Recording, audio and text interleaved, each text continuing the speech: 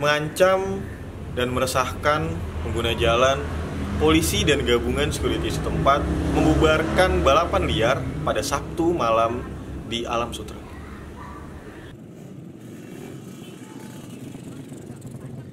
Kelompok pengendara sepeda motor yang sedang melakukan aksi balapan liar langsung berhamburan saat petugas patroli Polres Tangerang dan security setempat datang ke salah satu lokasi balapan liar di Jalan Alam Sutra Kabupaten Tangerang Minggu pagi.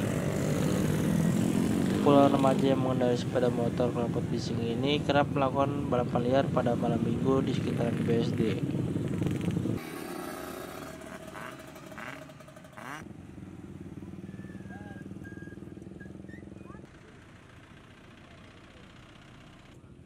Tidak hanya di Jalan Amstel saja, tetapi beberapa titik di jalan lain, yaitu kawasan Bintaro Sektor 9 kerap dijadikan ajang balapan liar.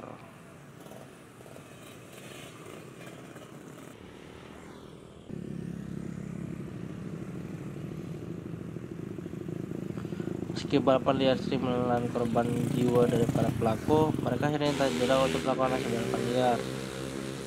Menurut seorang warga, balapan liar di jalan sering terjadi pada Sabtu dan Minggu. Warga melakukan aksi balapan liar ini karena yang sangat bising dan juga mengganggu ketertiban pengendara motor lain. Sementara itu, satuan kepolisian melakukan langkah-langkah aktivasi guna mencegah aksi balapan liar tersebut dan sering menangkap dan membawa sepeda motor milik pelaku pengendara balapan liar.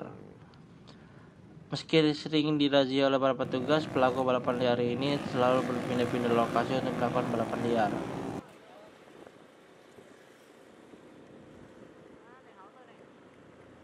Sutra sini pak? Iya di dalam sutra sini sering tuh sepanjang jalan ini nih. Oh, Apa tuh ngedrak lah bahasanya. udah sering pak? Wah sering mas di sini mas. Warga sini pada nggak suka mas berisik.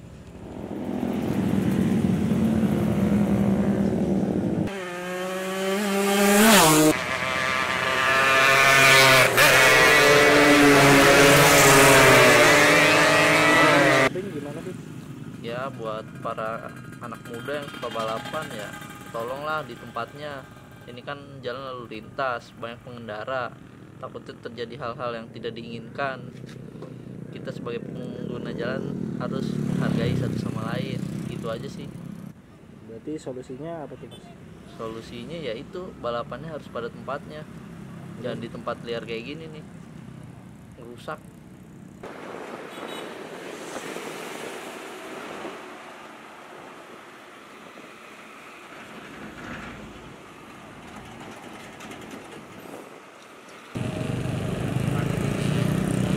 Patuhilah rambu-rambu lalu lintas dan berhati-hatilah dalam berkendara.